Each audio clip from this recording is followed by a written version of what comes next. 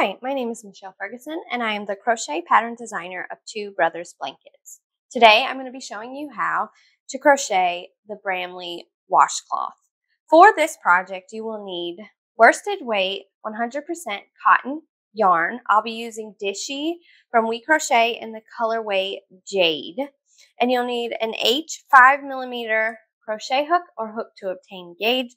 I'm using a Furls Crochet Streamlined Wood hook. Um, I will link all of these supplies in the description. Let's go ahead and get started.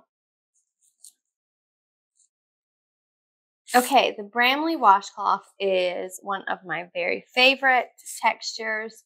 Um, shameless plug, this is the same stitch combo that I use for one of the sweaters in my book that is coming out in 2023, Crochet Makes for Men.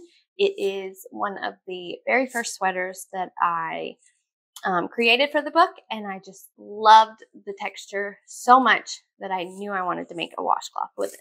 So this is super simple, and it'll give you an idea of what to expect for the book. Let's get started.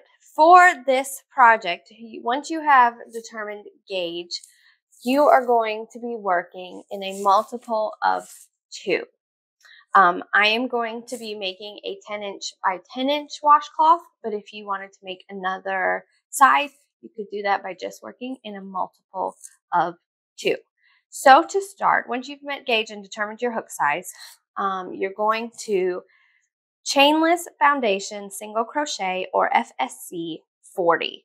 So to do that, we're going to create a slip knot and get plenty of yarn here. And we are going to do two chains to start that. And then we're going, see that back bump of the first chain? I'm going to insert my hook into that back bump right there.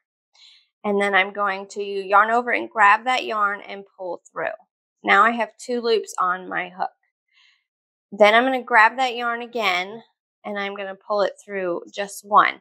Now I have two loops on my hook again. Then I'm going to grab the yarn, yarn over and grab the yarn and pull through both loops. So that creates my first chainless foundation single crochet. So now, so this is the front, this will be the front of it. We're working in the back of it. So now I am going to take, see those two loops of the bottom of that first stitch? I am going to insert my hook into that. And then I'm going to yarn over, grab that yarn, pull up a loop yarn over, grab the yarn, pull through one loop, yarn over, grab the yarn, pull through two. That is my second. This is my stitch right here. We're working into the other side. See the two loops or the two bumps right there for the bottom. Insert my hook, yarn over, pull through, two loops on the hook, yarn over, pull through one, two loops on the hook, yarn over, pull through two. If you want to slow that down or pause it, you can. I also have a video tutorial on just how to do that foundation chainless single crochet and I will link it in the description. But I'm going to go ahead and work my 40 FSC to start. And you go ahead and do that. You can pause the video and work those. And I will meet you at the end when I have reached 40.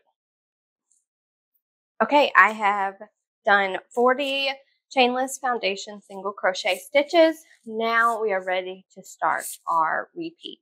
So the rest of the washcloth is so easy. You're just using one stitch and that is single crochet. So you can do a single crochet. You can master this. You can master um, the single crochet. And the only thing that we're going to do different is first we're going to chain one and turn.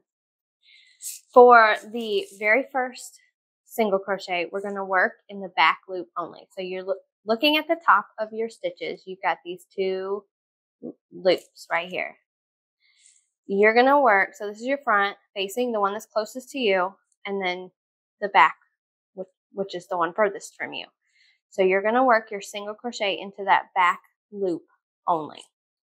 So just go right, don't even work into, so normally you would go like this. You're just going to do it in the back. And you're going to work your single crochet.